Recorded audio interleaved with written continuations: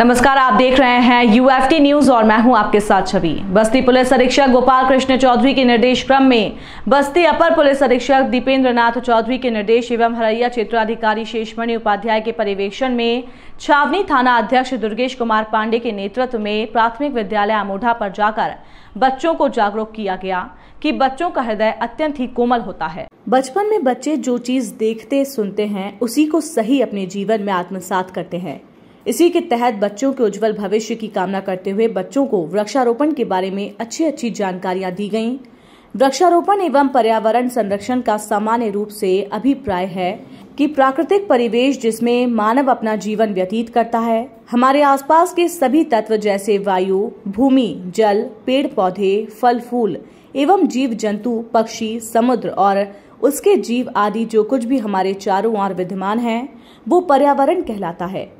यही नहीं, नदी, झरने, सागर, पर्वत एवं जलवायु की सूक्ष्म तत्व भी पर्यावरण का निर्माण करते हैं। यहाँ तक कि पृथ्वी को प्रकाश व ऊर्जा देने वाले सूर्यदेव व संपूर्ण ब्रह्मांड के आकाशीय पिंड भी पर्यावरण में ही आते हैं। ये सभी तत्व हमारे जीवन, अस्तित्व एवं विकास के लिए अनिवार्य हैं। ईश्वर ने पर्यावरण की ऐसी अनूठी रचना इसलिए की थी ताकि समस्त प्राणी जगत सुनहरे ग्रह पृथ्वी पर सुख शांति पूर्वक रह सके।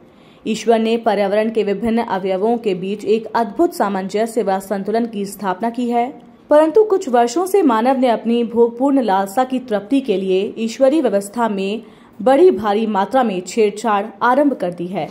इसका परिणाम ये हुआ कि आज संवेदनशील परिवर्णीय संतुलन के पूर्ण रूप से नष्ट, भ्रष्ट व दूषित हो जाने की विश्वव्यापी समस्या खड़ी हो गई है। हमारे जीवन की प्रत्येक घटना व क्रियाकलाप पर्यावरण को प्रभावित करता है।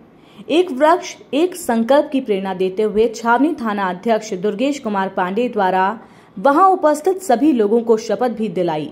आओ पेड़ लगाएँ, जिससे धरती पर फैले हरियाली तापमान कम करने को है।